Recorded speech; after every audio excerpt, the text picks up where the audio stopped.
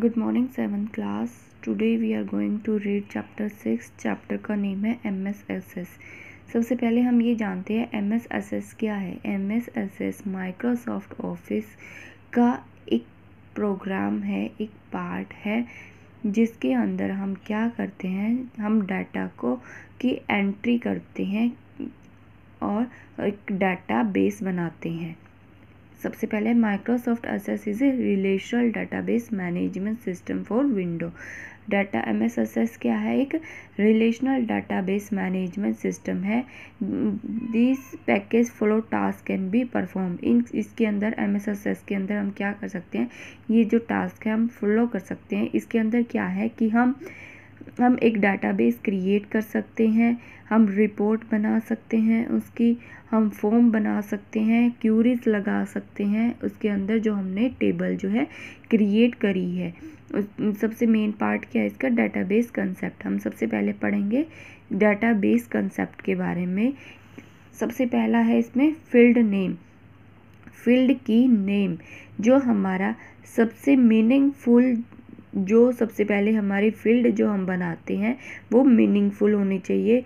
Meaningful होनी चाहिए और उसके अंदर बिना स्पेस के हम जो उसका नाम रख रहे हैं, वो बिना विदाउट स्पेस होना चाहिए। जैसे कि हमने फ़ील्ड का नेम रखा एस नेम एस नेम क्या है यहाँ पे? सर नेम एफ़ नेम क्या है यहाँ पे? First name D O B क्या है? Date of birth address one क्या है?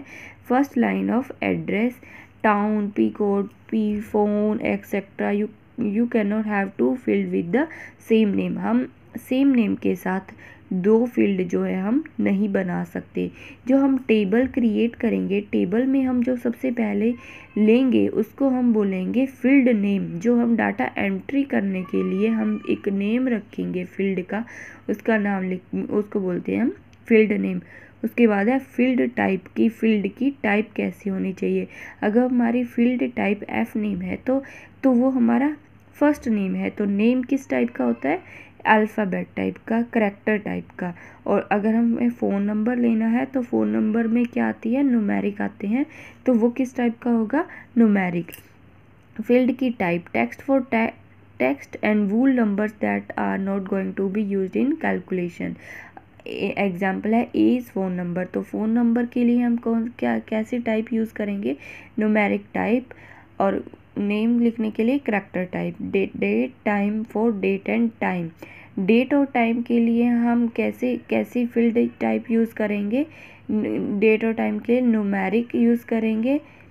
करेंसी फॉर मनी मनी के लिए हम कौन सी फ़ील्ड टाइप यूज़ करेंगे? करेंसी टाइप की यस और no for true false logical value married के लिए के लिए येस और no field field could be logical वो लॉजिकल भी हो सकती है। उसके बाद है फ़ील्ड लेंथ हमारी जो फ़ील्ड है, हम उसकी लेंथ डिसाइड करेंगे। This has to be fixed so you need to plan your database structure beforehand हम अपनी टेबल क्रिएट करने से पहले हम उसकी जो फ़ील्ड की लेंथ है, वो भी हम पहले से ही डिसाइड करके रखेंगे। उसके बाद है रिक्वायर्ड फ़ील्ड कि हमें फ़ील्ड कितनी चाहिए, वो भी हमें पता होना चाहिए।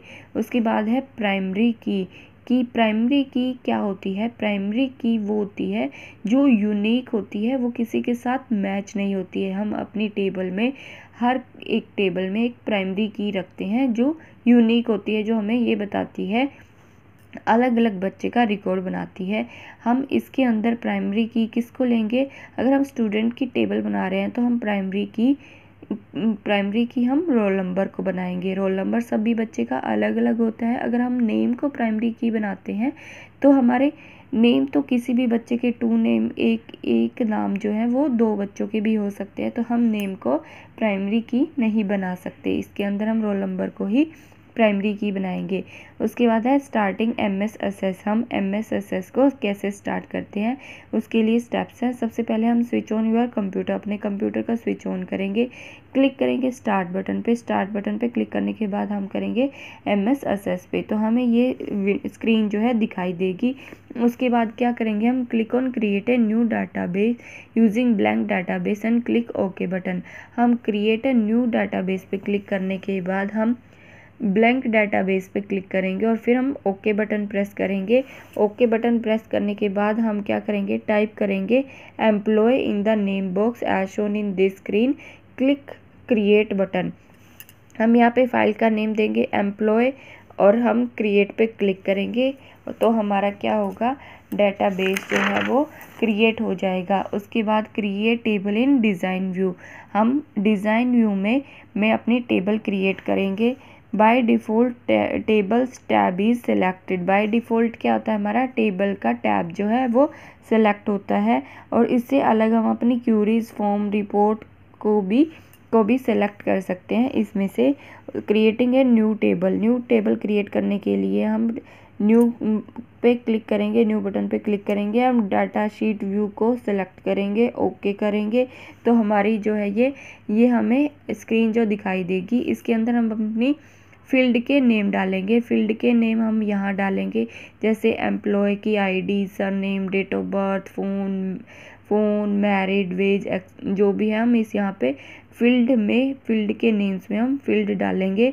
और इधर हमारी डाटा टाइप की हमारी फ़ील्ड जो है वो किस टाइप की होनी चाहिए? नंबर में होनी चाहिए करैक्टर में होनी चाहिए, वो हम उसको उस, उसी के अकॉर्डिंग यहाँ पे हम उसकी फ़ील्ड डालेंगे।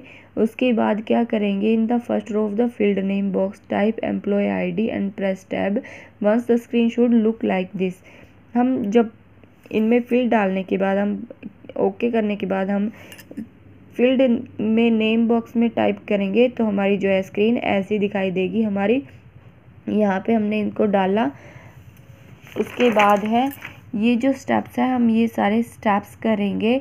हम हर एक, सबसे पहले सर नेम डालेंगे। उसकी फ़ील्ड टाइप नेम जो हमने डाला सर नेम सर नेम की फ़ील्ड टाइप क्या होगी? कैरेक्टर में date of birth D field name डाला D O B date of birth उसकी फ़ील्ड ने टाइप क्या होगी नंबर, ऐसे ये सभी हमने टाइप कर ली। उसके बाद हमने टेबल सेव करेंगे हम उसको, टेबल का नेम दिया, टेबल टू, ओके, क्लिक किया। क्लिक करने के बाद हमारी जो है टेबल क्या होगी, सेव हो गई और क्रिएट हो गई। एक डिज़ाइन व्यू उसका क्रिएट हुआ है।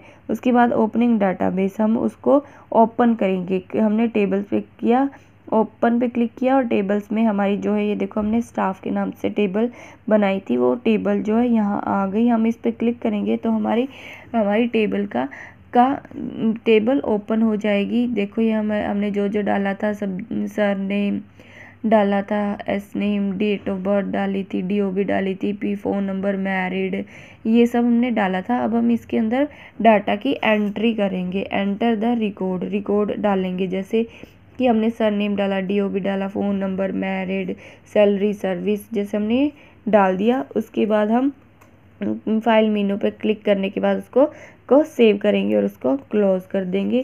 क्लोज़ कर क्लोज़ करने के बाद हम हम, उसके अंदर अगर हमें कोई और फ़ील्ड भी हमें अगर डालनी है तो हम उसके अंदर डाल सकते हैं। आज हम इतना ही करेंगे। इस चैप्टर को अच्छे से रीड करना।